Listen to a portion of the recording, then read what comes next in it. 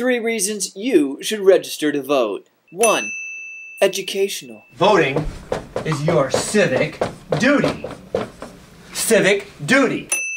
2. Emotional. Mommy's voting for your future, sweetheart. 3. Nonsensical. Voting is delicious!